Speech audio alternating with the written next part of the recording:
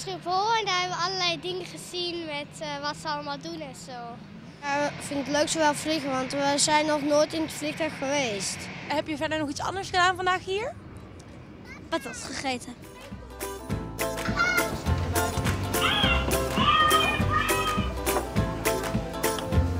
Wat vind je er zo lekker?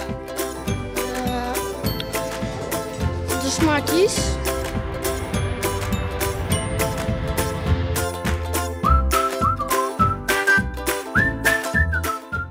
Ik vind het gewoon hele mooie dingen.